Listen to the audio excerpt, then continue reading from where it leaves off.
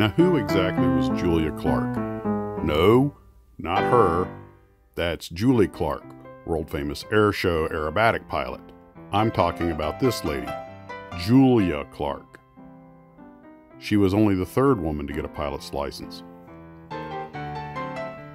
Although originally from Michigan, she had become a stenographer in California. Then she attended the 1911 Chicago Air Meet and decided she wanted to be a pilot. Possibly inspired by Harriet Quimby, a Hollywood actress and screenwriter who had become America's first female pilot, the young Julie Clark went to Glenn Curtiss to learn to fly. Curtiss was reluctant to teach a woman to fly, but eventually she overcame his objections and he trained her. After completing her training and receiving her pilot's license, she was promptly hired by the Curtiss Wright Aviators to be in their air show routine. She was billed as Miss Julia Clark, the daring bird girl. Unfortunately, her career was to be an exceptionally short one. The evening before her first demonstration flight, she took the aircraft up for a test hop. According to reports, the sun was starting to set, the light was not particularly good, and the weather wasn't great either. But she decided to go off for one quick test hop.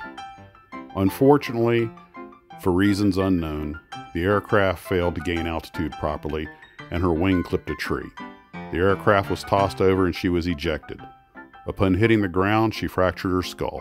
Although help arrived almost immediately, she died in the ambulance on the way to the hospital.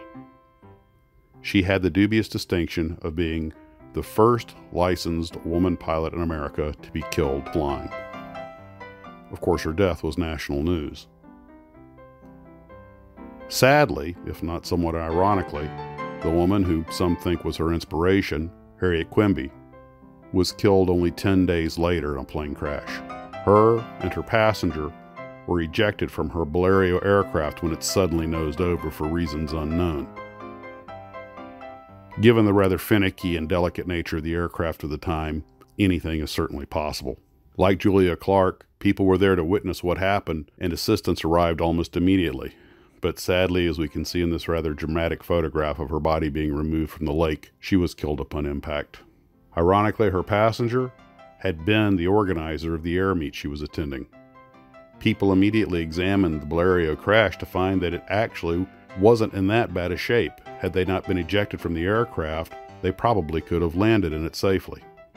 The women who followed in their footsteps, such as the near namesake Julie Clark, have had the benefit of excellent training and good equipment, and as a result, have enjoyed long, healthy, and happy careers as aerobatic pilots.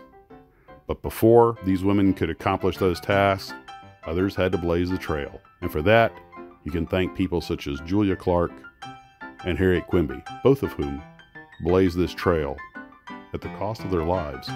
They should be remembered.